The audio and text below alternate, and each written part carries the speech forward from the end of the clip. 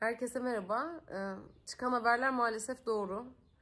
Ee, ben çok hassas ve dikkatli olmama rağmen, bütün set çok e, dikkatli davranmasına rağmen e, Covid oldum. E, ayakta geçiriyorum. Kendimi izole ettim. Ağır bir grip gibi yaşıyorum aslında. E, böyle.